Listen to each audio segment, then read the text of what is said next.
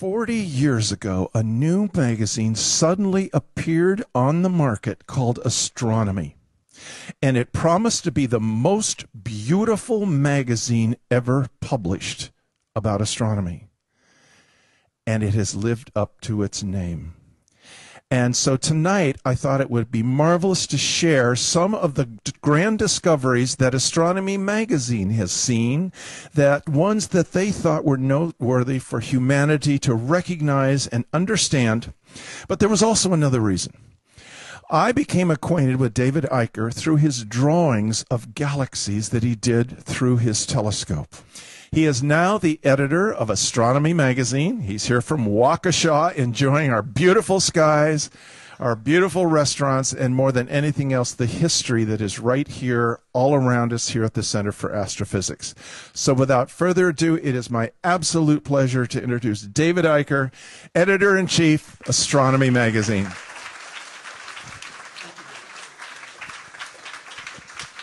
We actually published our 40th anniversary issue of the magazine a few months ago in August here. Um, and it's actually been around, David's right, it's been around for 40 years now. And we did in this issue a number of lookbacks at sort of great discoveries and other things of the past. And so I, I have to make a confession to you right away, and that is I'm cheating you tonight.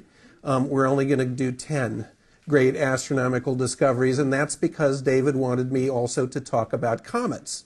So we'll do that afterwards. So we're going to do sort of two pieces here, um, and then we can talk questions and, and whatever we would like to do. But as we probably know, as many of you do, uh, scientifically, uh, we hit a rough spot here in the civilization on Earth, and that was about in the 5th century. Uh, up until, oh, about the 15th century, the Dark Ages, from a scientific standpoint, really arrested clever thought um, that had been going on, sort of bubbling up in the Greek times and the Roman times. And it wasn't until some clever fellows like this guy, Nicholas Copernicus, uh, came along um, that we really started to propel forward in a big way our scientific understanding of where we are in the universe and what the universe means to us as humans on Earth. Well, in, in 1543, uh, specifically, Copernicus published his famous On the Revolutions of the Celestial Spheres, and he, of course, placed the sun uh, at the center of the soul of the universe, if you will, solar system, universe at the time. This was a revolutionary act, of course, that got him into. Uh, it, it, did not win Nicholas Copernicus the most popular guy of 1543 award, particularly with the church. But uh, it did lead to a major um, upturn in the clear understanding of what was happening in our universe. The Earth and other planets were orbiting the sun, and the heliocentric model of Copernicus um, ultimately won out. It took a little time, but it ultimately won out. This is actually a facial reconstruction of Copernicus uh, based on the 2005 discovery, by the way, of that which is to believe believed to be uh, Copernicus's body. So this is a generally thought to be what he looked like pretty accurately.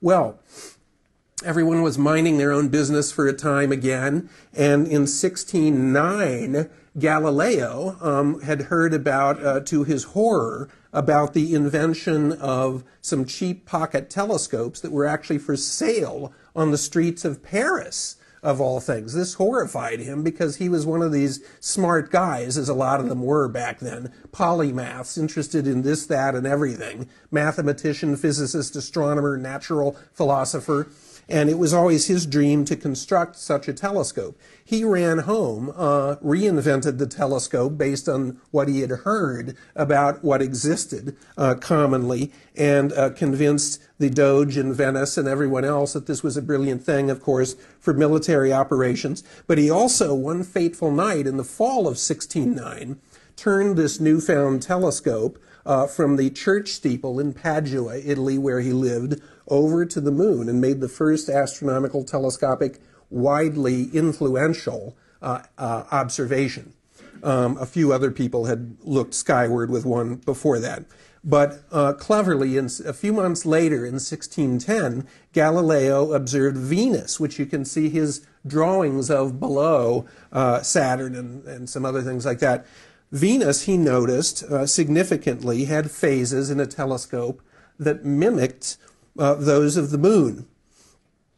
And this was a big, big deal because uh, he thought about it very carefully and very cleverly. And it turned out that these gibbous phases of Venus proved that Venus had to be inward toward the sun from Earth, and that Earth could not be in the center of the universe or solar system, and therefore the heliocentric model was found uh, to have much more support. Uh, if the geocentric, if Earth were in the middle of everything, as we all thought, you know, all this time beforehand, uh, Venus would be a crescent, of course. Um, then along came a fellow who was a little bit crazy, brilliant crazy, uh, Isaac Newton, and in 1687 published uh, his Mathematical Principles of Natural Philosophy, another great leap forward in astronomical, in scientific, in the history of physics, uh, in the whole ball of wax, uh, Principia for short in Latin, from the Latin, original Latin title. And this was a big, big deal because there was no universal system of understanding the world, the universe, the stars, and what governed them until Newton's publication of this landmark book. This really laid out the laws of motion, of universal gravitation, of all of the principles that we still hold in slightly different ways, in some cases dear today. And it also, again, reinforced uh, convincing proof of how planets orbit the sun. It also led significantly in something that still not everybody buys, at least on Facebook, that the physical laws that we observe in the universe, physics, chemistry, astronomy, etc., etc., apply throughout the universe, which is kind of a drag, I know, for science fiction. It's not as much fun to believe in the hard stuff, but as we understand it, Newton is still correct. Well, then a guy came along, fast forward a little later, Edmund Halley, um, and he was interested in all sorts of things. He was, again, a very clever fellow, observed lots of comets among this and that, and he uh, was particularly interested in the historical records that were not terribly accurate at the time, um, that related to several comets uh, that had been observed in 1531, 1607, and 1682. Uh, and he realized that they possessed similar orbits. And so in 1705, Halley uh, deduced that these three comets were actually the same comet uh, that were returning uh, around the sun. This was a breakthrough understanding at the time, and we'll talk a little bit more about that in the comets half of this talk. But uh, he also predicted the return of this comet in 1758, and by golly, the comet returned and ultimately was designated now in the modern system of comets 1P Halley, which means it's a periodic comet. It comes back. Uh, that's what the P stands for. Uh, and it bears his name and certainly is the most famous comet of all time. And you may have seen it in its last operation, uh, apparition, in which we got robbed, of course, uh, in 1985 and 1986 because it was not a very good apparition in terms of the geometry of where the comet was. So they did a little bit better in 1910 and at other times, but hey, we still got to see it. You know, it's not all bad. Well, there was this fellow uh, around about the time of uh, just after the turn of the century and the uh, run up to World War One. A fellow named Harley, Harlow Shapley. In fact, he was a pretty well known guy uh, right here um, at this institution. Um, one of the greatest uh, directors uh, of this observatory and, and greatest astronomers in the United States history. Um, he was a guy, again, who was involved in all sorts of clever thinking.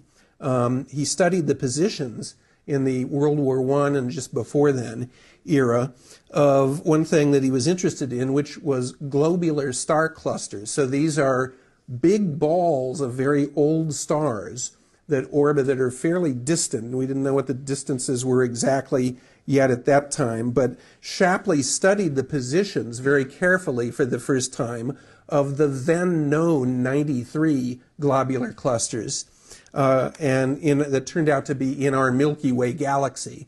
These are old, old stars that exist in, in globes of as many as a million suns held together by gravity. Um, and he didn't know this at the time, but, but uh, now we know that they are remnant blobs of gas that accreted, that formed, that were pulled in and did not get sucked into the disk of our Milky Way galaxy, but orbit at larger distances.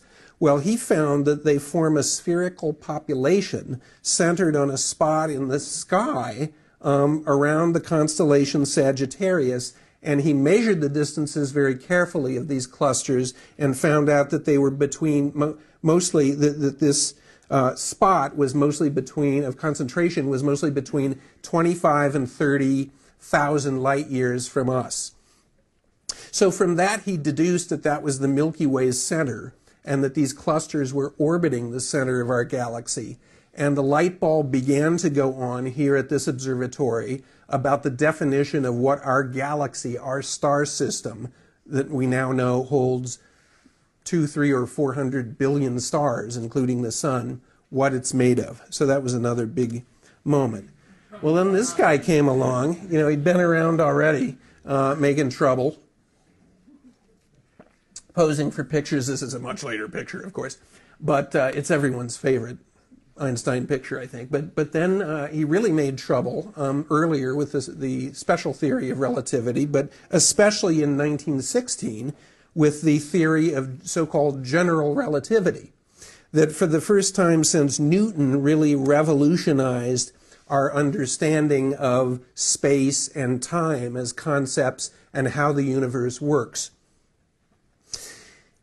Einstein explained gravity as a warping of the space time fabric, if you will, that makes up our universe. Uh, and this is really the best way, general relativity still, that we have to describe and understand the structure, the history, the evolution of the universe. Still holds up pretty well. It explains black holes, gravitational redshifts, uh, it explains the bending of light around massive objects from distant objects behind them. Uh, it explains lots and lots of things very nicely.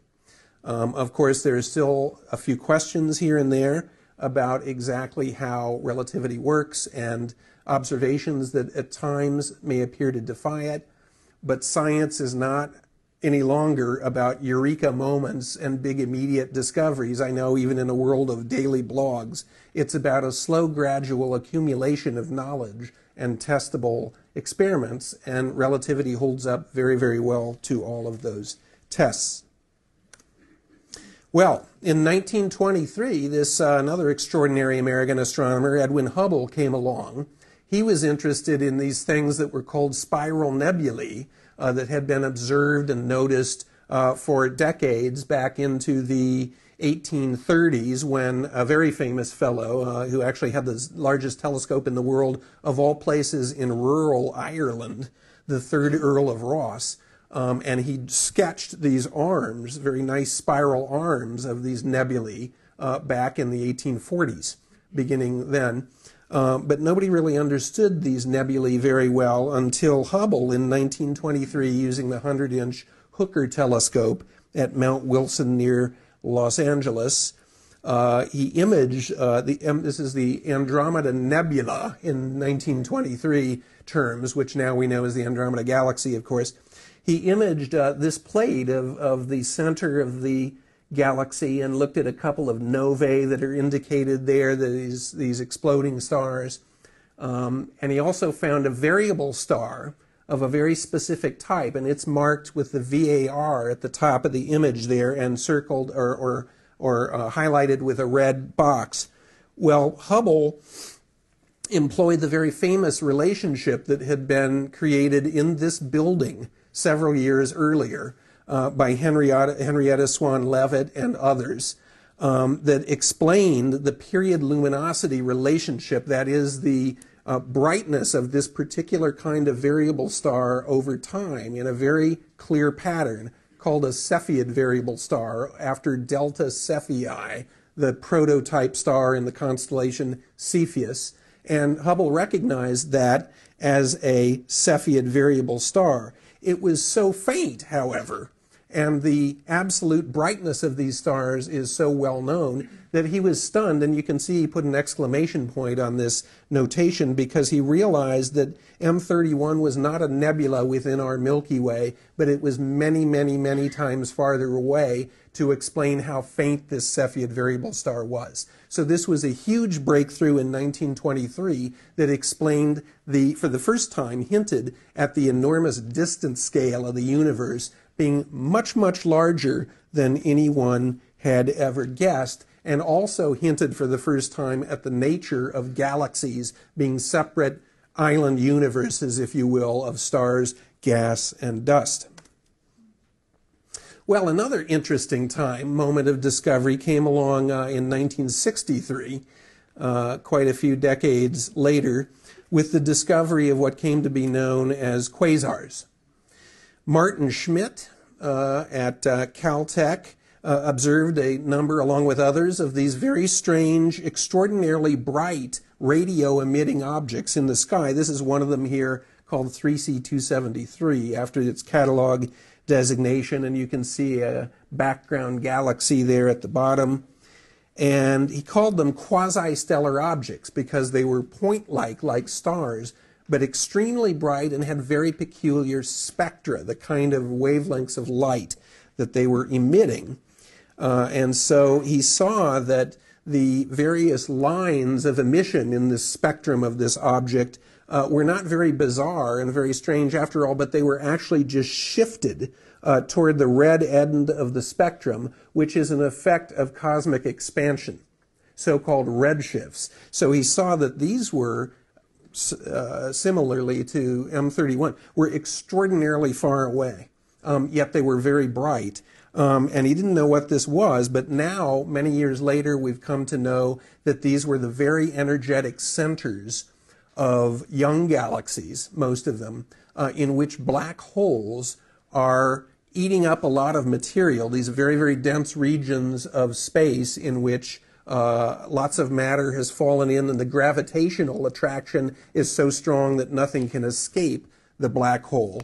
Um, and material that's falling into this black hole gets accelerated at very, very fast speeds, shot out, and you can see this jet coming down to the lower right of the quasar is that jet of material coming sort of toward us. So this was another major revelation that young galaxies um, possess these black holes and are extraordinarily bright in the early universe. Because as we look at very distant objects, of course, we're looking back in time. Well, another big one was 1965, the cosmic microwave background radiation. This was a discovery made accidentally at Bell Labs by Arno Penzias and Robert Wilson, and Robert Wilson is indeed also here at this institution. This is a, of course, a hall of superstars in the world of astronomy and astrophysics here. Um, this image is actually a recent one from the European Planck satellite, um, uh, which I'll explain in a second. But they found that there was a faint glow over the whole sky in the microwave region of the spectrum that was very, very strange. Uh, and after a lot of analysis and research, it turned out to be the echo, uh, the temperature echo, if you will, of the Big Bang, uh, the, the formation of the universe. So this was a big one as well. The universe at this, uh, by now, has cooled to 2.7 kelvins, which is about 4.9 degrees Fahrenheit above absolute zero. So we're talking about pretty small temperatures here. Nonetheless, um, it was detectable. And this shows this is a temperature map that's from this year, from the Planck satellite of the Big Bang Echo. Well, just when we thought that everything was nicely coming together in terms of our understanding of astronomy and astrophysics, in 1998, two different research groups uh, we're looking at very, very distant supernovae, uh, massive exploding stars, and announced uh, that they'd found a very, very strange thing. The universe is not only expanding from the Big Bang on a large scale, everything moving, of course, apart from everything else, but the rate of expansion in the universe is increasing over time. And nobody knows why. Does anybody know what, exactly what dark energy is? Have you read about this? Because if you know what it, I'm, I'm glad you, you passed the tests, you're honest. Because if you do know what it is, you could probably bring home a Nobel Prize next year. A lot of cosmologists and astrophysicists are working on this question now, and nobody knows what this is except that they call it dark energy because it's a force uh, that is pushing the expansion of the universe apart in an accelerating way. They call the repulsive force, as I mentioned, dark energy. Um, and these distant supernovae of a particular type called type 1a supernovae, again, were found to be, in this case now, fainter than their distances would apply. And therein lies the rub and, and the problem. So, a lot of what we understand about cosmology and, frankly, what the universe is made of now is in a big uh, quandary and in some doubt. The stuff that we're made of, um, so-called normal, so-called baryonic matter, uh, is just a few percent of the universe. Uh, planets, galaxies, stars, cats, dogs, trees, lawnmowers. Um, there's a, about 23% of the universe because remember from Einstein, uh, uh, mass and energy are interconvertible, are the same thing in different forms uh, from E equals mc squared. The about 23% of the universe is dark matter, and that's a whole nother story too, and we don't completely understand what it is. But 70 some percent of the universe is this dark energy, which we have no idea what it is. And so the good, the upside here is it's going to keep cosmologists employed for some time to come.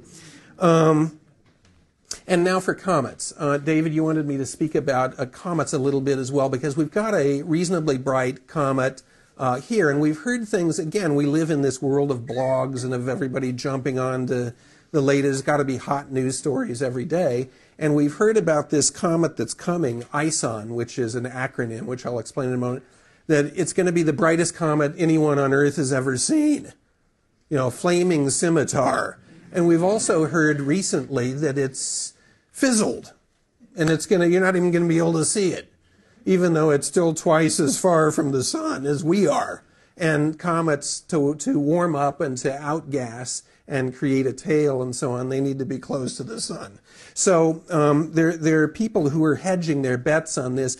I took the safe way out. Uh, uh, I published a new book about comets before it got here and so you, you, can call me a you know a chicken if you want, but this is a, you know a shameless plug. This is a new. I only have one copy, but there will be copies of this book in bookstores in two to three weeks. If you're interested in reading about comets, it's published by Cambridge University Press, and it talks a little bit about about Comet ISON, just about that much, and a whole lot about all the other comets.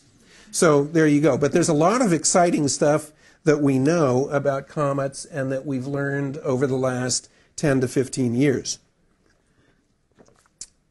Who thinks that Comet ISON is going to fizzle completely? Yes, sir? Does anyone think it's going to be fantastically bright? Yes? So most of you are smart and you're hedging your bets because we're not really going to know for about another four to six weeks. But we'll see. Anyway, it was discovered uh, about a year ago um, it's going to have its perihelion, that is the closest point to the sun, um, on November 28th. And I'm from Milwaukee, Wisconsin.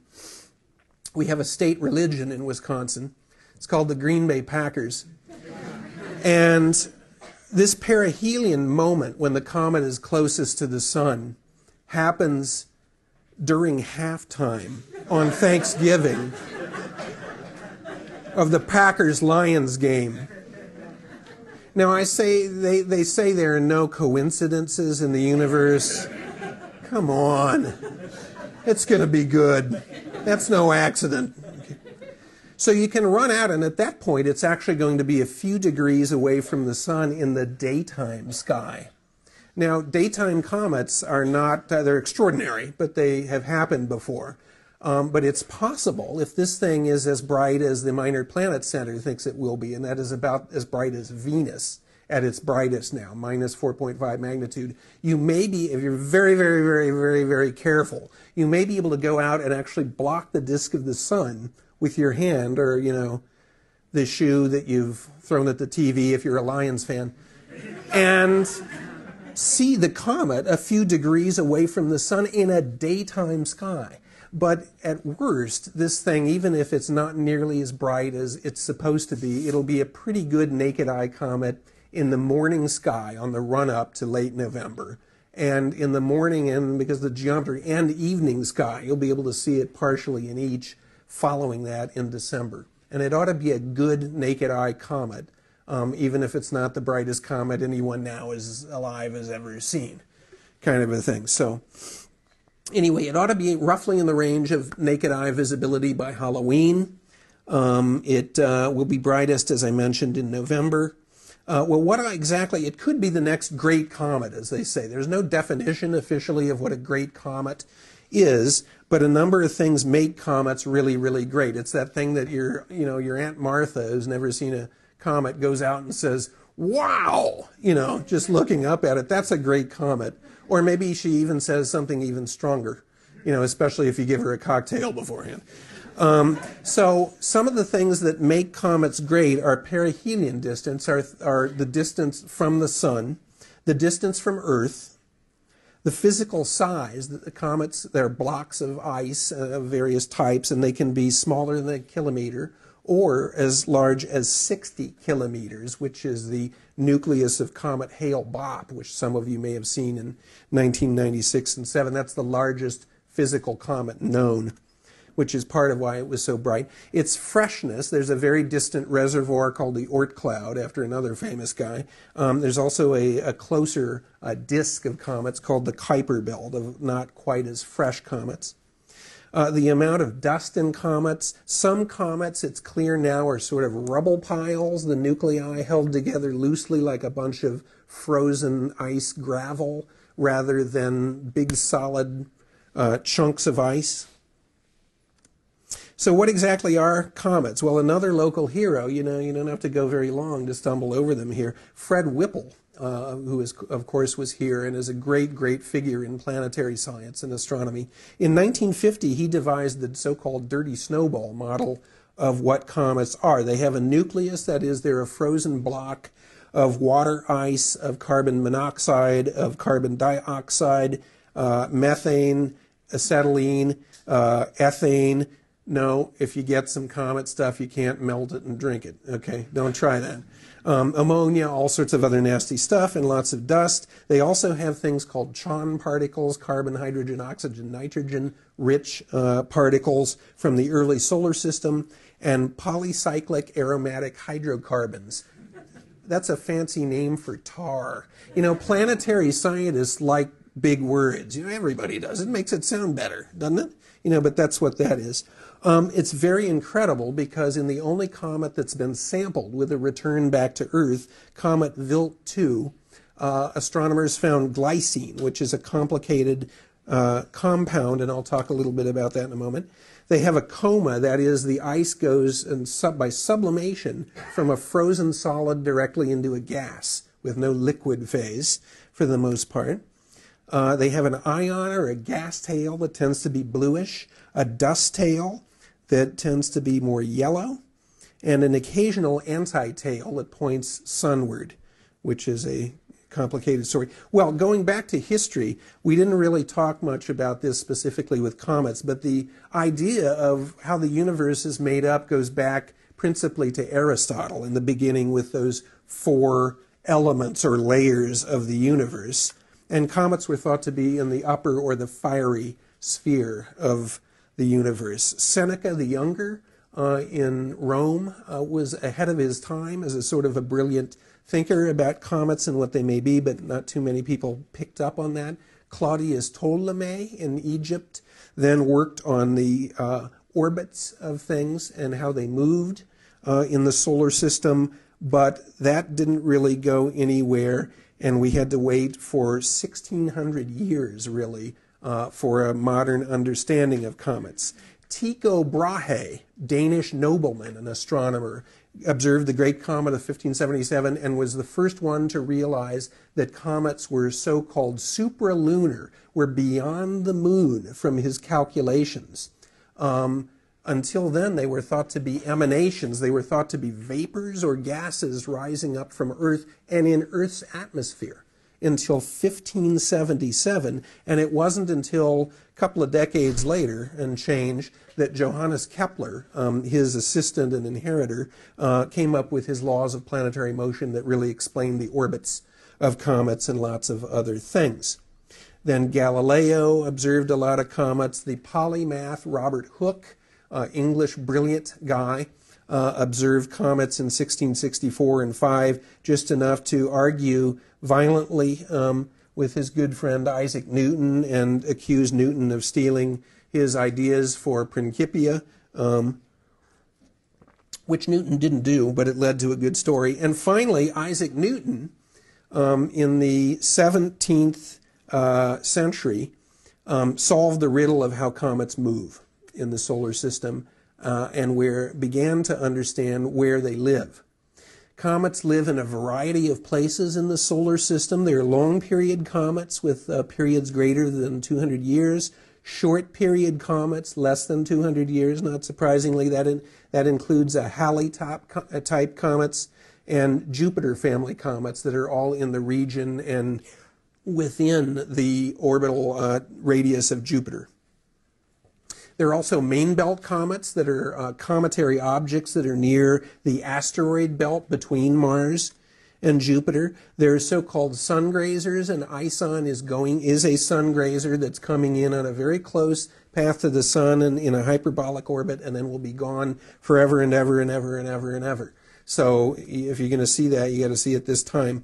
The Kuiper belt is this inner disk that was only discovered in the 1990s, uh, and that's in the region of Pluto and a short distance beyond. There is also, and that may account for some tens of thousands of cometary nuclei in that region. There's also a region beyond it called the scattered disk, in which some of these Kuiper belt objects got spun up into crazy orbits by Jupiter and Neptune and uh, are doing all sorts of funny things. Uh, and then, of course, there's the Oort cloud, which is a long, long way off.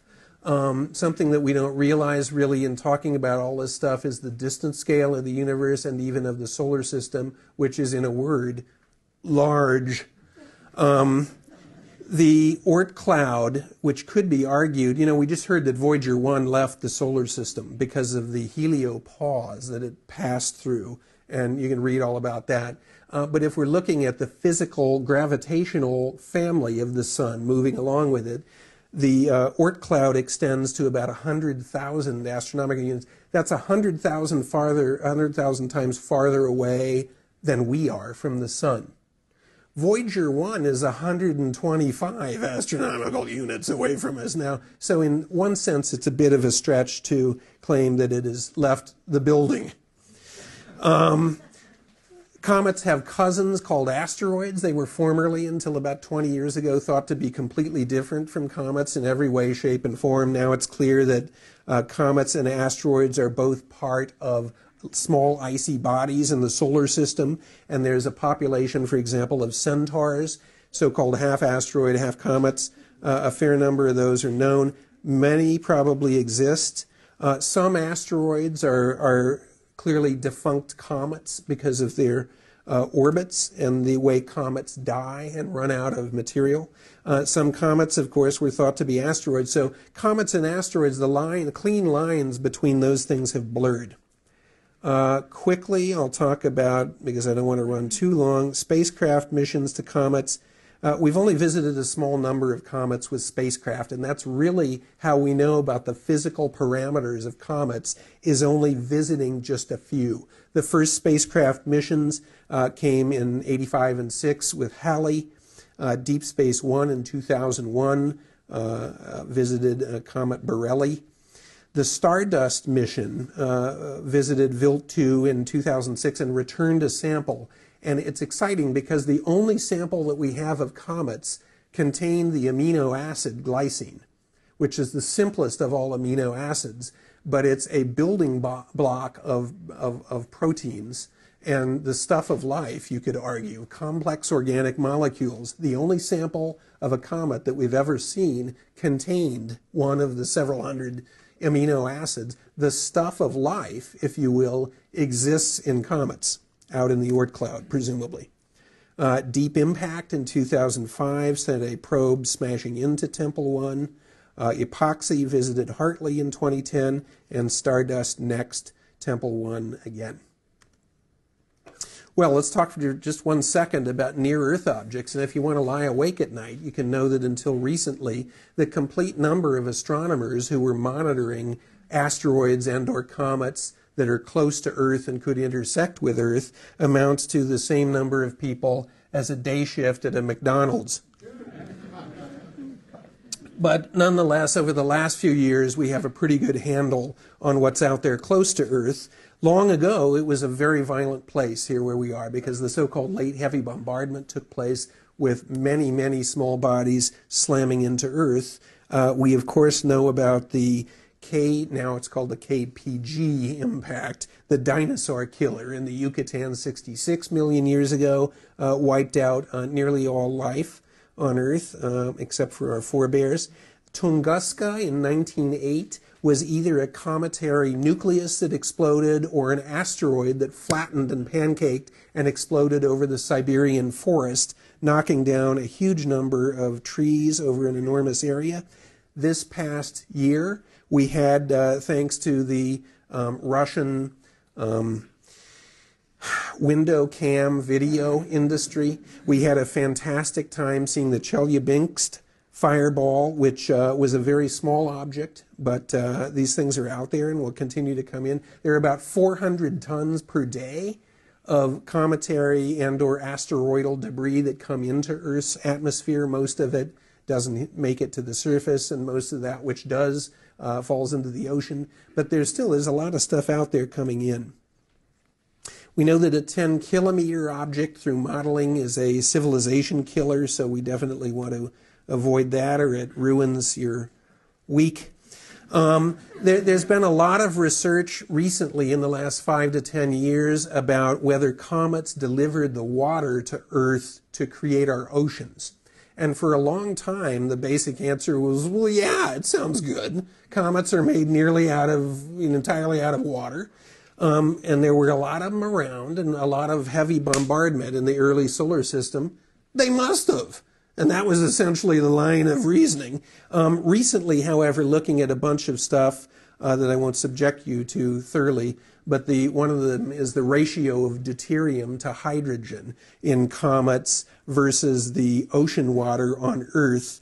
It's pretty clear that comets did not provide most of the water uh, that we started out with on this planet. There's a lot of water on Earth, um, even though not a lot by mass. But for where we are compared to the sun, we're exceedingly rich in water. It now turns out, however, that about 10 to 15 percent of our ocean water probably came from comets, and believe it or not, the rest of it came from icy rich asteroids. And even from water molecules adhering in the inner solar system, which was hot to begin with, to dust grains that accreted into Earth to make our planet. Well, I mentioned uh, did comets seed life on Earth? I mentioned glycine, other important uh, organic molecules, this primitive tarry stuff and CHON particles. Lots of this stuff of organics exist in comets. A number of people, including the uh, irascible astronomer Fred Hoyle, believed for a long time in, in a concept called panspermia, in which organic life, bacteria and so on, were actually raining down throughout the galaxy and the solar system uh, and that the galaxy seeded life on Earth. That's probably not thought to be true, and I won't go through the whole thing here because I think we want to leave enough time for questions. Um, but we do know, as I mentioned, that the stuff of life exists in comets, the one that we have sampled, and almost undoubtedly others. Well, just to finish here, let's talk about the numbers game with comets as we look forward to ISON, either the spectacular, brilliant wonder of our lives, or, you know, stay in and watch, you know, Duck Dynasty instead. You know, it's not worth it. Um, but it's the numbers are pretty incredible. The Oort cloud, our outer shell of comets, which extends, by the way, about 40% of the way to the nearest star. That's how large that cloud of comets is. Astronomers now think that there are about 2 trillion cometary nuclei in the Oort cloud attached to our solar system gravitationally. That's a whole lot of them. And when a star passes near us through the Oort cloud, or other things gravitationally influence the cloud, i.e., things called giant molecular clouds, or actually the gravitational tug of the rotation of the galaxy itself, that sends comets inward toward the sun, kicks them inward, and one comes in like ISON and visits us, and we get a treat. There are about 4,200 comets known specifically. About uh, a little more than a third of those are sun grazers, like ISON and others.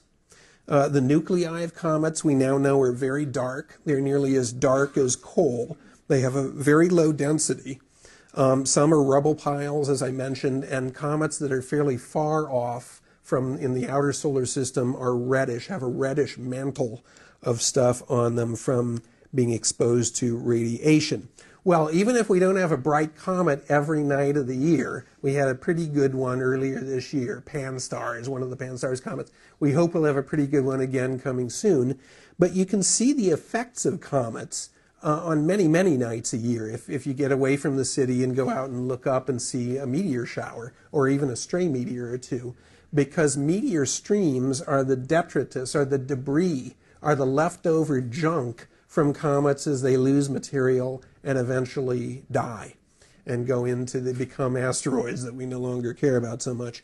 So these meteor streams that intersect Earth's orbit, and when they do produce an annual meteor shower, like the Perseids or the Geminids or the Leonids, are the stuff of comets that we can go out and see tiny little particles, most of them sand grain, no larger than pea size, that zip into Earth or pulled down and, and light up the sky, and we can make a wish. So comets are often with us, uh, even when there's not a bright comet in the sky that we can see with our naked eye binoculars or telescope. So with that, I would uh, thank you very, very much for having me here. You've been a great audience. It's wonderful to be here. Uh, and I, well, thank you. And I don't know if you have any questions. Thank you.